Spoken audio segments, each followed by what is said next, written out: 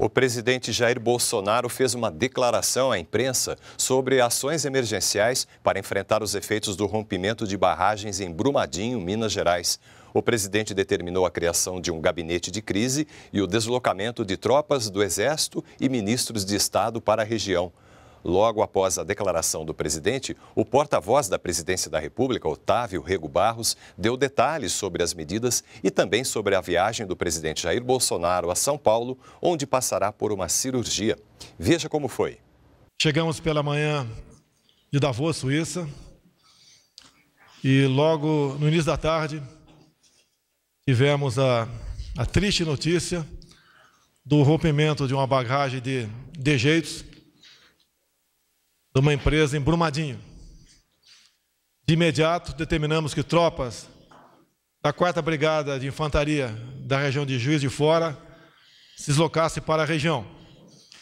Logo depois, ultimamos os ministros de Desenvolvimento Regional, ministros de Meio Ambiente e também o ministro das Minas e Energia, se deslocassem para a região e também, juntamente com o governo do Estado de Minas Gerais, criasse um gabinete de crise, para que, em consonância com o nosso, criado aqui em Brasília, é, não só nos colocasse as informações em tempo real do que estava acontecendo, para que nós pudéssemos tomar todas as medidas é, cabíveis e possíveis para minorarmos o dano na região.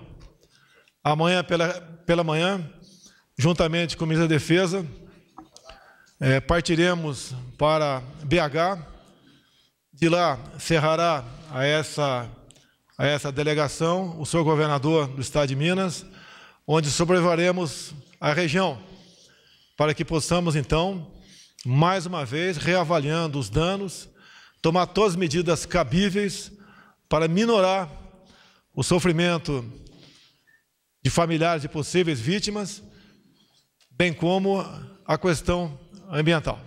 Por hora, é o que nós temos a informar aos senhores.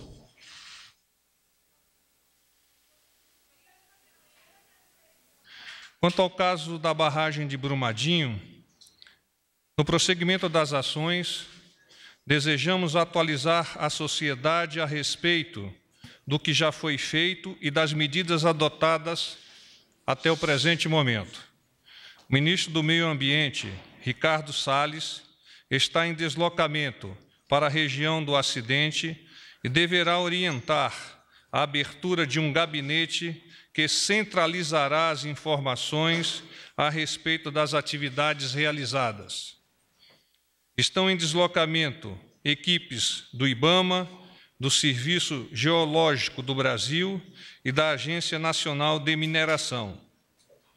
O ministro do Desenvolvimento Regional, Gustavo Canuto, e o secretário nacional de Proteção e Defesa Civil chegam hoje à noite a Belo Horizonte para acompanhar e apoiar o trabalho das defesas civis locais, tendo como prioridade, neste momento, o socorro e assistência à população afetada.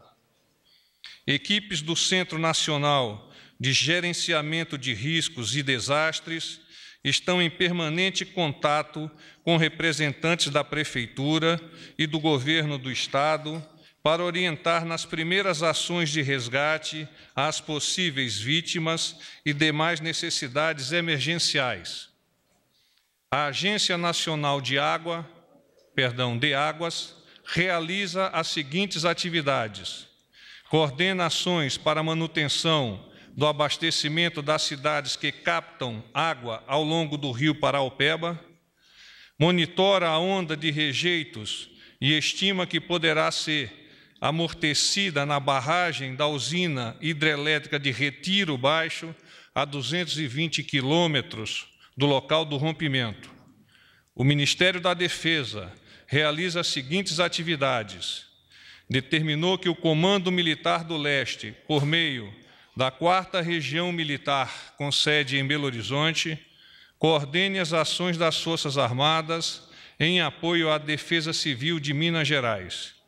Disponibilizou três helicópteros de média capacidade, equipados com integrantes de cada Força Armada, Marinha, Exército e Força Aérea para atuar em operações de transporte, busca e resgate e permanecerão à disposição das operações na região atingida. Analisa as imagens de satélite de alta resolução na área para fornecer dados sobre os impactos do acidente.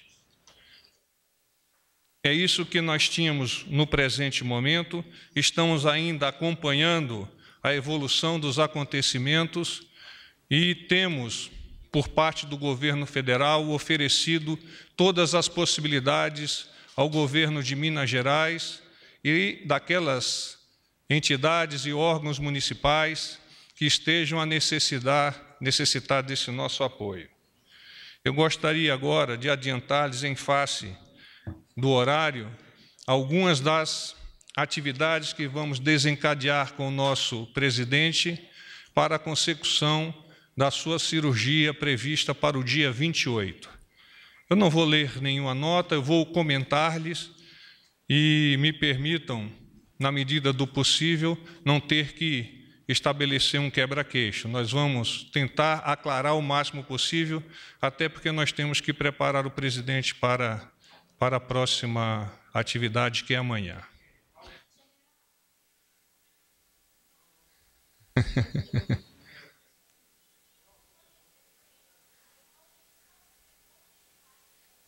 Bom, amanhã o presidente estará acompanhado no helicóptero por alguns ministros, em princípio, o general Fernando, do Ministério da Defesa, mais outros ministros ao longo desta noite far-se-ão consultados e apresentarão as suas condições de participar dessa atividade. Lá também o governador do estado estará a incorporar-se à delegação e juntos partiremos para a região de Brumadinho. Então a decolagem aqui de Brasília, nós vamos até Belo Horizonte, lá se incorpora equipes do governo do estado e juntos vamos a Brumadinho para efetuarmos um reconhecimento aéreo e ainda não está definido se o presidente toca solo na região ou não. Há uma previsão de que ele possa estabelecer contato com a imprensa em Belo Horizonte, em princípio no próprio aeroporto. Amanhã mesmo. Não, provavelmente no retorno eu ainda não consegui estabelecer essa organização. Mas me parece mais adequado que depois que ele tenha uma visão da catástrofe, da tragédia, possa melhor é, explicar-lhes quais são as efetivas ações do governo federal. Aí já é outro assunto, vamos lá. Então vamos lá. O presidente, o presidente vai decolar, previsão, decolar no domingo às 8 horas, com um grupo resumido de assessores, naturalmente com a sua família, com a primeira-dama Michele. Estaremos o ministro Heleno, o chefe de gabinete, doutor Pedro, o porta-voz, seu ajudante de ordem, parte de sua segurança, eventualmente outros integrantes do governo, nesta primeira pernada para São Paulo. Previsão de chegada em São Paulo às 9h10 imediatamente o presidente e a comitiva deslocar-se-ão para o hospital. O presidente já se interna neste momento, há uma área reservada para ele, ele iniciará os procedimentos de preparação para a cirurgia e no dia seguinte, bastante é, temprano, bastante cedo, já a cirurgia realizar-se-á.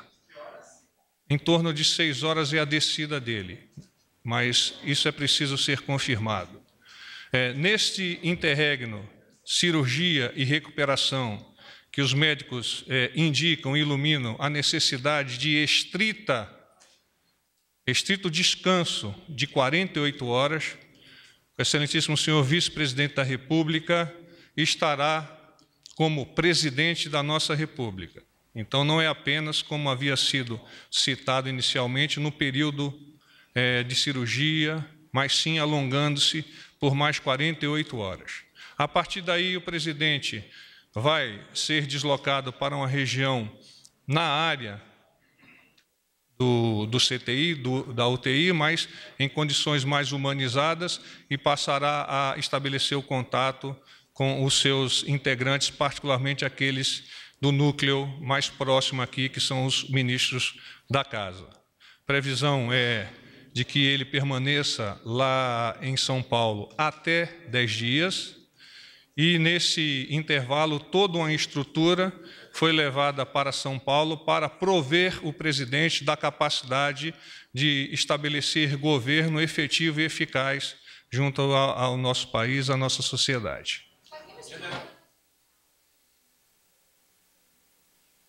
Sim, nós temos uma antessala que estará sob coordenação do ajudante de ordens do presidente, e lá esse ajudante de ordem estabelecerá à medida que a agenda for sendo preparada, for sendo organizada, a forma como o presidente vai receber essas pessoas.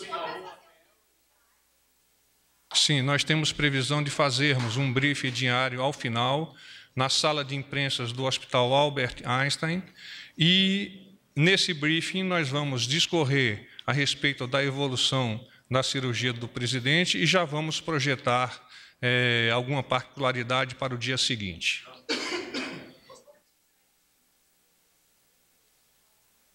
Não, não compreendi, por favor. Sim, os boletins técnicos serão emitidos pelo Hospital Albert Einstein, estarão sob a, a tutela da, do porta-voz do presidente a, a divulgação. Naturalmente que nós vamos compartilhar essas informações com a equipe médica, que é aquela que vai ter a maior condição, a melhor condição de aclarar para vocês qual foi o procedimento ou como foi o procedimento e as expectativas. Última pergunta, vamos lá.